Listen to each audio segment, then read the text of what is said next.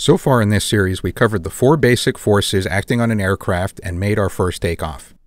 But when we climb or descend in an aircraft, we're going to see some things change, and like a lot of aviation related topics, it goes back to those four forces. So, what exactly is going on, and how can we use those forces to do vertical aerobatic maneuvers? We'll answer those questions in this video. This is how the four forces of flight are usually depicted and it's a good way to explain how they interact with an aircraft flying straight and level at a constant speed. In other words, when the forces are in equilibrium. For the aircraft to climb or descend, the forces need to be out of equilibrium, so in a climb they would look more like this. Thrust and drag are aligned with the direction of travel, so they're now tilted at an angle. Lift is always perpendicular to the direction of airflow, so it's now also off at an angle. But weight stayed exactly the same because the pull of gravity is always straight down regardless of where the aircraft is pointed. So why is this important? It's important because now drag has a downward component. That means that part of the aircraft's weight is acting together with drag to counteract thrust. So if you are flying at a constant speed with just enough thrust to balance out drag when you transitioned into a climb, the amount of thrust would no longer be enough. This would lead to a loss of speed. Just like driving up a hill, you need to add power if you want to maintain speed. The amount of power needed goes up as you increase the angle of the climb. It tops out in a pure vertical climb where the amount of thrust required to stay airborne is equal to the weight of the aircraft. One other thing that happens in a climb is a temporary increase in lift. Right after pulling back on the controls, the angle of attack will be higher, generating more lift. But as soon as the airflow stabilizes in the new direction of travel, that angle of attack will return to a lower level. We can see that here when we put the sim's built-in AOA indicator on the screen. It gets a temporary bump right after we pull back on the stick, but then it falls back to a level closer to where it was as the airflow stabilizes in this new direction. This also happens when pulling out of a dive where it has a more noticeable effect. After a dive, you'll have built up speed just like driving down a hill. So when you pitch the aircraft up to avoid hitting the ground, you're going to have momentum still pulling you toward it. This will shift the oncoming flow of air from this region in front of the wing during normal flight to a lower part of the wing. Another way to describe this is as an increase in angle of attack. If it gets too high, we'll cross our critical angle of attack. When that happens, the wing stops generating lift and starts creating a lot of drag. The only way to get out of that is to decrease angle of attack, which you generally don't want to do while flying towards the ground. So the lesson here is to moderate your speed when in a dive. Now when you push the controls forward, you get the opposite effect as what we just discussed. There will be a temporary decrease in lift because angle of attack will have a momentary decrease as the aircraft noses down into the airflow. There's another change in angle of attack that happens at the back of the plane that's important to understand. When you push the stick forward or backward, it moves these control surfaces on the miniature wings at the back of the plane. These wings are called the horizontal stabilizers because of how they're mounted and the stabilizing effect they have on the aircraft. And the control surfaces at the rear are known as elevators. Forward stick pressure deflects the elevators downward. This changes the chord line, which is at the heart of angle of attack. Since the downward deflection raised the angle of attack of this rear wing, it's naturally going to generate more lift and raise the tail. This is why forward stick pressure appears to move the nose down. Conversely, backstick pressure brings the elevators upward. Now we have a unique situation where this downward pointing chord line creates a negative angle of attack. It might seem confusing, but what's happening here is really a positive angle of attack pointing downward. So we have lift generated, but in the opposite direction. And as you would expect, this brings the tail down and the nose upward. So forward and back on the stick shouldn't be thought of as up and down for an aircraft. It's actually a control for angle of attack. Now there's one final concept we want to know before we jump into aerobatics, and it's called load factor. Anytime force is applied to an aircraft to deflect it from straight and level flight, it's going to produce stress on the airframe. The amount of that stress is called load factor, and it's measured in Gs, with 1 G being equivalent to what you feel either standing on the surface of the Earth or in straight and level flight. Just like in an elevator or on a roller coaster, you feel the force of acceleration when you're moved away from equilibrium. The same effect is happening when you maneuver in an aircraft. You can visualize it by imagining you're sitting on a scale while flying the aircraft. In straight and level flight, you would experience 1g, and that would be reflected on the scale you're sitting on by showing 1 times your body weight. But if you pitch the aircraft up, then your body would want to continue on that straight and level path, just like Newton's laws of motion state. You would experience acceleration upward, and if it was enough to reach 2g, then the scale you were sitting on would show twice your body weight. 3g would make it three times your body weight. Your body has limits to how much acceleration it can take. The average person can take between 4 and 6 g before the flow of blood out of the brain towards the feet causes a loss of consciousness. You can increase that tolerance with good fitness, a G suit that compresses the legs during high G maneuvering, and a special breathing method along with the constriction of lower body muscles known as the anti G straining maneuver, or AGSM for short. Using all these together, it's possible for pilots to tolerate up to 9 Gs. Pulling too many positive Gs is bad, but so is pulling negative Gs. With the pull of acceleration in the opposite direction, blood flows towards the head, increasing pressure there. This can cause small blood vessels in the eyes and brain to burst. DCS models this as a blackout like what you would see with high positive Gs, except that it happens when you pull negative Gs. The important thing to remember here is that this only applies to negative G, not to the spectrum between 0 and 1G.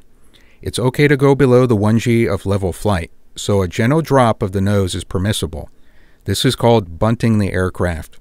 But try to avoid going below zero into the negatives. That's when bad things start to happen, and your aircraft is much better at pulling positive Gs than negative Gs. But it's not just the human body that has G load tolerances. The aircraft also has G limits, which we can see on a chart like this VG diagram. At the bottom, we see airspeed, and on the left is the load factor we can plot out how our aircraft would react at various load factors and speeds. In straight and level flight, we would be on this 1G line, but if we entered this area, we would be maneuvering with such a high angle of attack that the aircraft would stall. Out in these orange and red regions, we would put enough force on the airframe to damage it, so we want to avoid those regions. If you've ever seen the wings come off a plane in DCS from hard maneuvering, then they were in this region. Here's the VG diagram for the MB339 trainer we've been using in this series. We can see there's a max permissible load factor of 8G. One thing I need to point out here is that Zone D has some special caveats. You cannot have any underwing weapons or fuel tanks loaded, and the tip tank should be removed. Otherwise, you're limited to Zone B, which is 7G. Always check for these special rules on any aircraft you operate. As we do our vertical maneuvers, we want to keep these limits in mind. And for that, we have this accelerometer located on our instrument panel. You'll want to keep an eye on this one anytime you do hard maneuvers. So let's get started with our aerobatics. The first one we're going to try out is known as the Immelmann turn, which is named after the World War I fighter ace Max Immelmann. It's a fairly simple maneuver that's meant to put you on a course opposite of where you started. You can think of it as a U-turn in the vertical plane. This maneuver has three parts. First, you start in straight and level flight. In wings level flight, it's a lot easier to stay in a perfectly vertical plane, so we want to try to maintain wings level throughout the maneuver. The next phase involves pulling up into the vertical for half a circle. At this point, you'll be on a reciprocal heading, flying in the opposite direction you came from, but you'll be upside down. So the last step is to roll upright to wings level. Now let's see it from inside the cockpit. The Immelmann can be started at any altitude in level flight, but we want to have at least 320 knots of speed when we start the loop.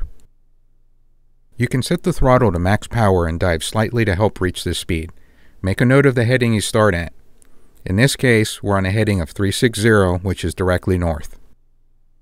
Once we're sure we have enough speed and the wings are level, we're going to gently pull back on the stick. Since we want to do these maneuvers uniformly, we need a way to make sure the amount of pull is the same each time. So we're going to use the accelerometer for that and pull until it reads 4G. Then we're going to maintain that until we've completed our turn. Just like with everything else, we want to be smooth. So ease the stick back until you reach 4G and then hold it there as best as you can. One thing you'll notice during this maneuver is that once you lose enough speed, you won't be able to maintain 4G. That's normal. Just apply as much backstick pressure as you can at that point and complete the maneuver. We're sticking to 4G for a couple reasons. One is to keep us under the maximum load factor allowed for the airframe. 8G is the max for this aircraft without any underwing stores. Two, it gives us a way to measure how sharply we're turning so we can repeat the turn with the same performance each time. Remember that when we pull back on the stick, we're moving the elevators at the back of the plane and changing the angle of attack. AOA and G are linked. If we pull more AOA, then it's going to make the turn sharper and increase induced drag, which we covered in this video. That means higher G and more lost speed. Lower G means less lost speed, but also a slower turn. Sticking to 4G should give us a nice balance between the two.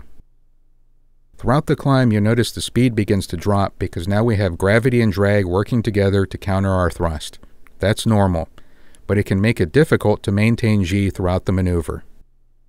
Speed and G also have a relationship. If you want the same turn rate at a higher speed, you will need to pull more G. For this exercise, just hold it as close to 4G as you can until we're fully inverted. Once we're at the top, we want to roll over to return to level flight. That's it. We've completed our Immelmann turn. If you did everything right, you should be on a heading of 180, which is due south and the reciprocal of our starting heading. Our speed is also a lot lower. That's normal too. Remember that drag and the pull of gravity were working together during the climbing part of that maneuver. We'll see another big change in speed with our next maneuver, which is called the split S. The downward counterpart to the Immelmann is known as the split S. Just like the Immelmann, you're going to maneuver in the vertical plane and end up on the reciprocal heading at the end. Only this time we'll be diving instead of climbing. Before we start, there's a couple things we need to keep in mind that didn't apply to the Immelmann. First is our starting altitude. Since we don't want to hit the ground, we need enough room for our maneuver. Start at 8,000 feet and make sure there aren't any mountains under you. Flying over a coastline should be safe. Second, you don't want to begin this maneuver going too fast. As we dive, we're going to gain speed, and if you start this above 300 knots, it's very easy to reach the red never exceed speed line on our airspeed indicator.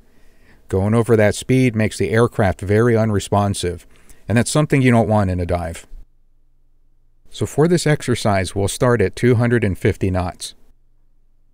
We'll begin by rolling out of level flight until we're completely inverted like this. Then we'll pull into a steady 4G pull with the throttle at maximum.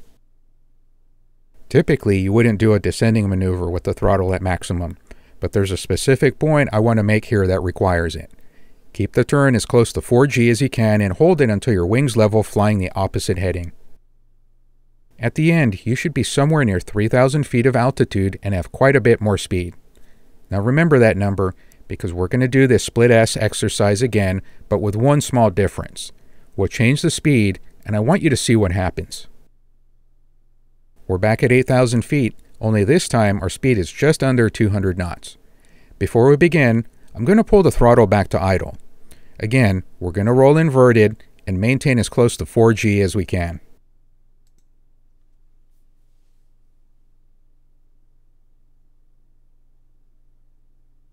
Now look where our altitude ends up.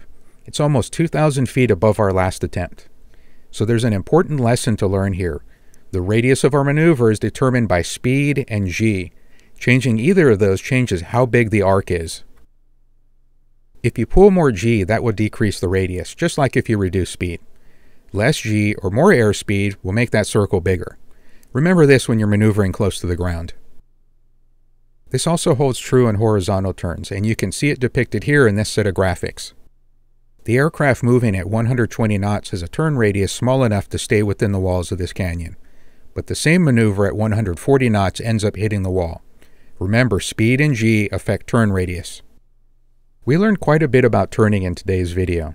While we focused on vertical maneuvers, many of the concepts also apply to horizontal turns. That'll be the topic of the next video, where I'll show you how professional pilots make their turns exactly the same each time. So I look forward to having you back for that one, and thanks for watching.